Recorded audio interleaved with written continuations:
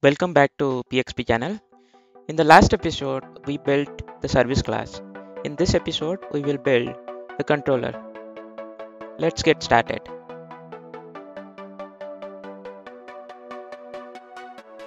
And the last thing left is uh, we will have to create a controller class to call all these methods that we created in the service class. Let's go ahead and name it as employee controller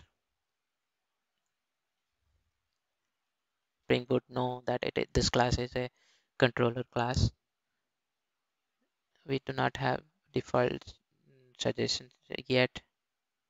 Yeah, now we can see it. We imported the uh, imported the class. Let's autowire uh, the service into uh, this controller class and name it as employee service let's import Autowired and also import employee service. Let's define all the all the endpoints here.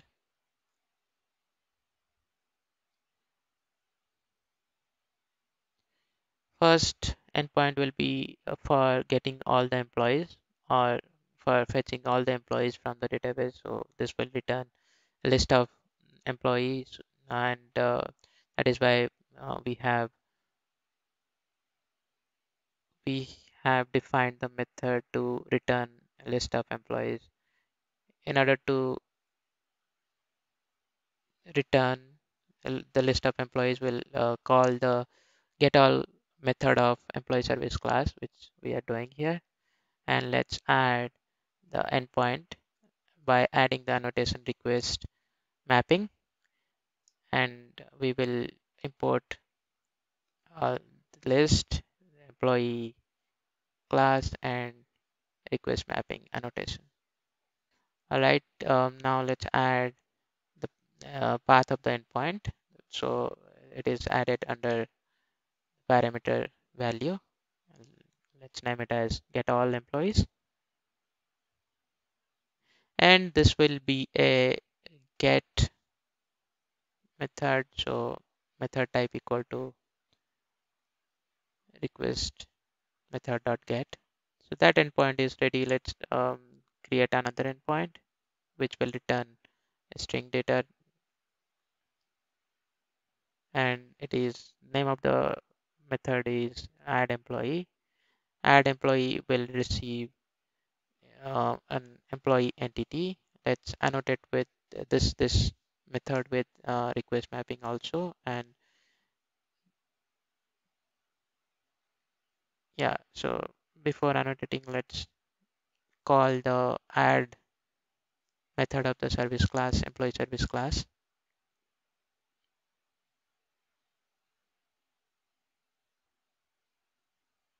And it takes employee entity as parameter okay and employee entity will be passed in the request body so that's why we have defined um, employee entity as request body by adding the annotation at the rate request body and as usual we will have to add request mapping. The name of the endpoint will be add employee and this will be a post method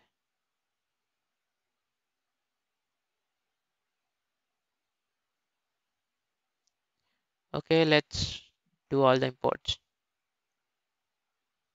Get all employees and add employee endpoints are ready. Let's create the third endpoint.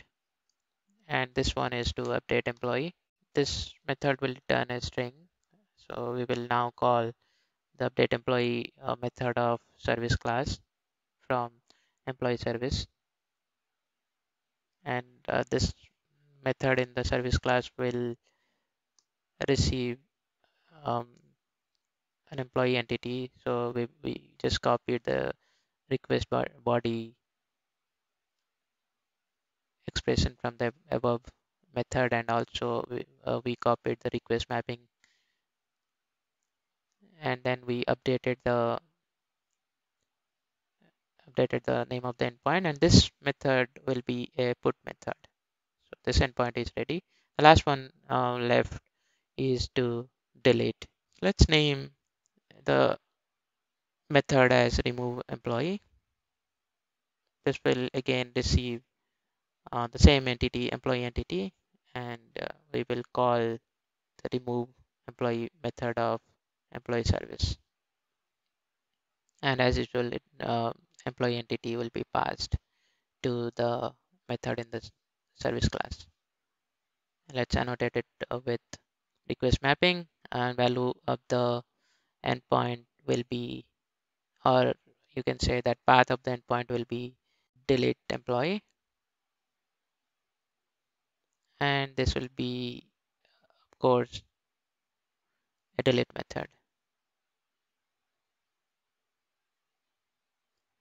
That's it. Uh, our controller class is ready. And one last thing we uh, have to do is we have to uh, tell Spring Boot that uh, it should allow all the requests that are coming from all the different origins. So we'll say that allow a uh, request from all the origins. That's why we are mentioning star in the origins. That's it for this episode. The Spring Boot application which we are building so far is almost complete. The only thing that is left is to configure the database. We will do that in the next episode. And also we will test the application using Postman just to make sure that our application is working as expected. Thank you for watching. Please do like, share, subscribe, and uh, if you have any queries or suggestions, then please let me know in the comment section. Thank you.